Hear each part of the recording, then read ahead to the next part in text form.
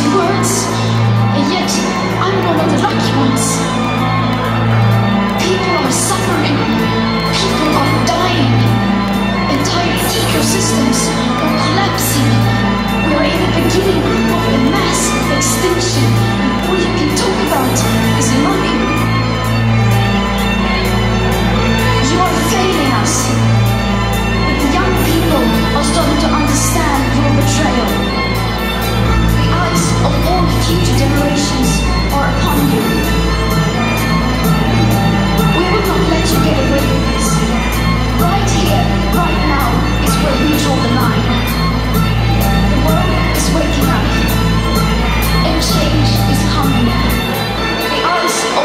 you to do.